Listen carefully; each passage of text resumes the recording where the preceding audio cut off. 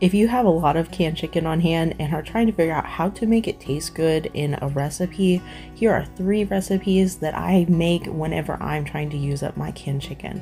The first is a macaroni salad. It's a macaroni chicken salad and you will first just go ahead and cook up your macaroni. I made about two cups dried and so when it cooked up it ended up being about four cups of pasta and I drained it then I added in my mayonnaise and about two heaping tablespoons of Dijon mustard I will have exact measurements of everything down below, so don't worry if I'm going a little fast. Next, I went ahead and kind of shredded up half of the can of chicken. This is a rather large can of chicken. It's 12 and a half ounces. So if you are shopping at the Dollar Tree, your can might be slightly smaller than this, and this was made with that in mind. So after I spooned in half of my can of chicken, I went ahead and also added in salt, which you don't need too much because the meat is a little bit salty and some pepper as well. I like a good amount of pepper, so I went ahead and took that lid off and dumped some in. Next, you're going to add in the secret ingredient to making a quick chilled salad, which is this seasoning blend. It has peppers and onions and parsley and a little bit of celery in it. Dollar Tree sells it, and so does Walmart. This I got from Walmart. I went ahead and put in about a cup worth and then I discovered I really needed to dump this all into a bigger bowl otherwise it would be a pain to mix up. But using that frozen seasoning mix is going to chill your salad super fast so you will be ready to eat it even quicker. So if you're looking for a fast lunch or even a fast quick light dinner, this really fits the bill. Now if you like your salad a little bit sweeter, which some people do, then you can add in about a fourth of a cup of pickle relish and that will really bring that flavor home if you like a little bit of that uh, you know, vinegar or sweet flavor to things.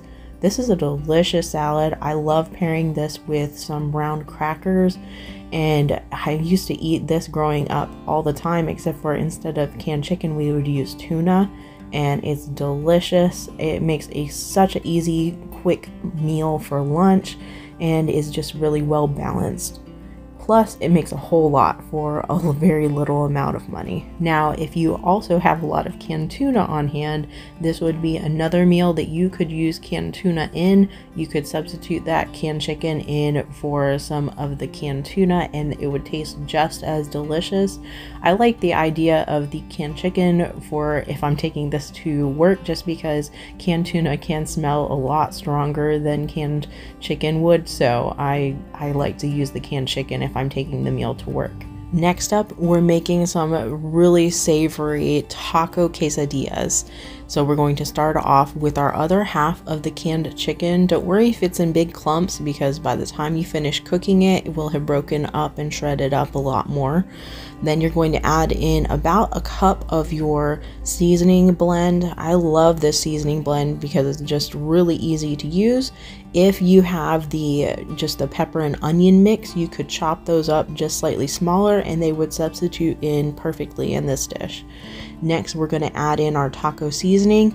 If you have one of the packets, it's about two tablespoons worth of seasoning mix, but if you have one of these bigger containers, which I like to use just because we use taco seasoning in a lot of different things, I went ahead and just put in about two tablespoons worth of the taco seasoning. Then you're going to mix it all until it's heated through and those vegetables have gotten nice and soft. Next, you're going to heat up your tortilla if you need to, if it's not very pliable, or if it's soft already, you can go ahead and just keep it out of the microwave. I heated mine up a little bit because they had gotten a little hard. So I went ahead and spooned in about a third of our mixture on here. This is going to make about three quesadillas. Next, we'll place about two to three tablespoons of shredded cheese. You can use whatever shredded cheese you would like. Shredded mozzarella. This is a shredded Mexican blend but if you have the cheddar block from Dollar Tree, that would work perfectly as well. I wanted to make sure that these recipes could easily adapt to Dollar Tree meal options just because I know a lot of people only have Dollar Trees nearby and I want to make sure that these recipes and meals are as accessible as possible. Next, onto your heated skillet, you're going to place your quesadilla on one side and let it toast up let it brown up. It, it, should take about 30 seconds before you need to flip it, and the other side will get nice and toasted brown. As you can see, it got really golden. That cheese inside is going to melt perfectly, and you can use a pizza cutter or a knife just to slice up these quesadillas. These are great kid pleasers just because they're very easy to handle. You can see all that cheesy goodness inside. The cheese melted perfectly. Plus, you've got some protein, you've got some veggie, and it's fully portable, which is a huge plus if you're on the go.